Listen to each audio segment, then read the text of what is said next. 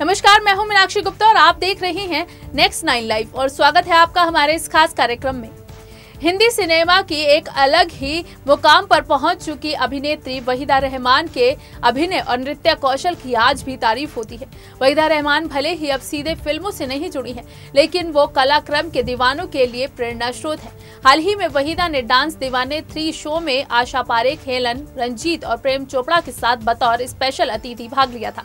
इस दौरान उन्होंने भरतनाट्यम सीखने का एक किस्सा सुनाया जिसे दर्शकों ने काफ़ी पसंद किया। उन्होंने बताया कि उन्हें डांस सीखने के लिए अपनी कुंडली बनवानी पड़ी थी। वहीदा ने बताया कि जब मैं चेन्नई में थी, उस वक्त मैं भरतनाट्यम सीखना चाह रही थी।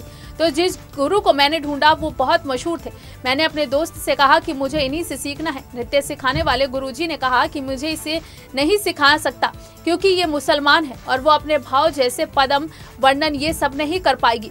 जब मैंने बहुत जिद की तो गुरुजी ने मेरी कुंडली मंगवाई, जो कि मेरे पास नहीं थी, क्योंकि हमारे में ये नहीं बनता। वहीदा रहमान ने बताया कि इसके बाद उन्होंने मेरी जन्म तारीख मांगी और खुद ही कुंडली बनाई। कुंडली देखकर गुरुजी को आश्चर्य हुआ और कहा कि कुंडली के अनुसार वहीदा मेरी आखिरी और सबसे अच्छी शिष्या होगी। बता दें कि वहीदा ने भरतनाट्यम सीखा और आज उनकी नृत्य कला से सभी अच्छी तरह जानते हैं। वहीदा रहमान की तीसरी कसम फ़िल्म कला और नृत्य पर आधारित थी। डांस दीवाने तीन में वहीदा और माधुरी दीक्षित ने पान खाए सैया हमारो गाने पर वीडियो भी बनाया। पान खाए सैया हमारो गाना तीसरी कसम फ़िल्म में फिल्माया गया था। शो के दौरान वहीदा ने कुछ मज़ेदार किस्से भी साझा किए। उन्होंने बताया कि आशा और हेलन उनकी पक्की सहेलियाँ हैं। शो में पाँचों सितारों के मशहूर गाने पर डांस परफॉर्मेंस हुई, जिसमें बड़ों से लेकर बच्चों तक ने कमाल कर दिया। वहीदा रहमान विशेष अवसरों पर ही कार्यक्रमों में भाग लेती है।